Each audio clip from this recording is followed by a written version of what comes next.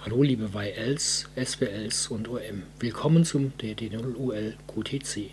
Das DHD 74 hat nicht nur einen VHF-UHF Sende- und Empfangsbereich, sondern auch einen Empfangsbereich, der von 100 kHz bis 524 MHz reicht. Um den auszuprobieren, ähm, lohnt es sich, eine externe Antenne anzuschließen, denn das Gerät ist von Haus aus so konfiguriert, dass von 100 kHz bis 10,1 MHz eine interne Antenne verwendet wird und alles darüber die externe Antenne. Man kann es aber auch so konfigurieren, dass eine externe Antenne für den ganzen Bereich eingestellt wird. Für diesen Zweck wird die Antenne abgeschraubt an der SMA-Buchse und ein externes Antennenkabel angeschlossen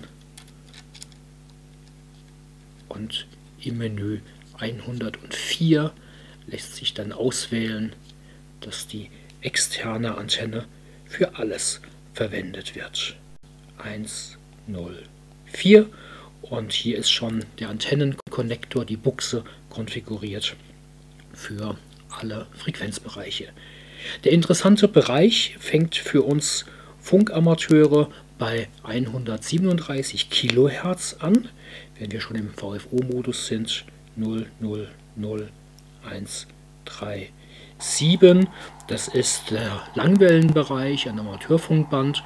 Und wie man gesehen hat, wird jetzt nicht die 100 37 kHz eingestellt, sondern die 135 kHz. Das liegt daran, dass das äh, Kenwood-Gerät von Haus aus in dem Bereich ein 5 kHz Raster verwendet. Das lässt sich allerdings verändern, indem man den Feinmodus einschaltet. Das passiert mit der Funktionstaste und hier ist es schon ausgewählt. Der Feinmodus ist auf Off. Das lässt sich jetzt ändern, indem man ihn einschaltet und was man bei der Gelegenheit gleich auch noch machen kann, ist dann die äh, schrittweise einstellen. Man hat die Wahl zwischen 20 Hertz, 100 Hertz, 500 Hertz und 1000 Hertz. Wir bleiben hier bei den 100 Hertz, die eingestellt sind und drehen ein bisschen hoch. Wahrscheinlich ist auf dem Frequenzbereich mit der nicht sehr guten Antenne hier nicht allzu viel zu hören, aber im Freifeld sollte das durchaus möglich sein. Der nächste interessante Bereich, das sind 475 Kilohertz. Auch wir hier wieder 0, 0, 0, 4, 7, 5. Auch ein Amateurfunkbereich, in dem man auch wieder ähm, die Stationen, vor allem langsame CW-Stationen, hören kann. Bei 512 Kilohertz schaltet das Gerät automatisch in einen äh, 9 Kilohertz Rastermodus um.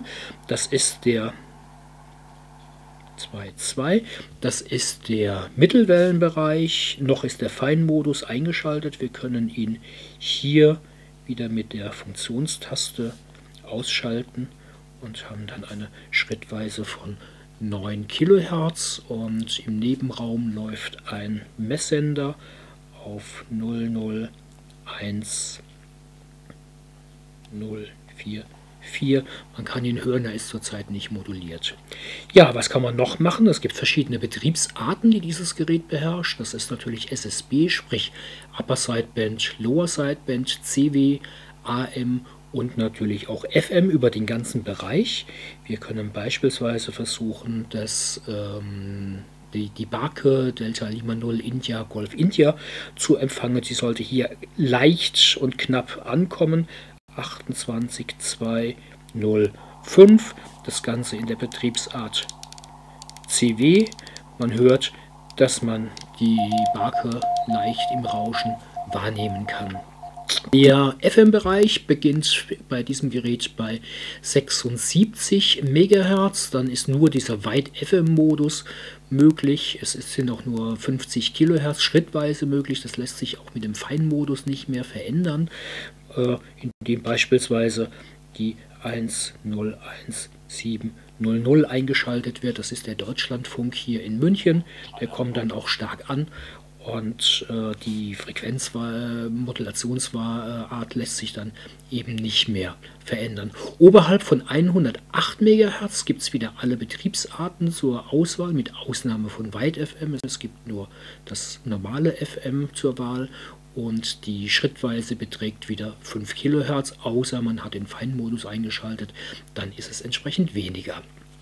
Die Filterbandbreite lässt sich einstellen in den Menüs 120 für SSB, 121 für CW und 123 für AM. Beispielsweise gehen wir zurück auf die 028205 und schalten im Menü 1, 2, 0 diese Cut-Frequenz, die lässt sich dann in Schritten einstellen. 2,4 kHz beispielsweise. Für CW lässt sich die Bandbreite auch geringer machen. Das war's für heute. Wer sich für den Empfang von digitalen Signalen interessiert oder für die Weiterverarbeitung der empfangenen Signale, der wird sich für die nächste Videosendung auch interessieren, denn da geht es darum, das eingebaute, die eingebaute Soundkarte in dem Kenwood-Gerät an den Computer anzuschließen und so aufzunehmen. Bis dahin wünsche ich viel Spannung und 73.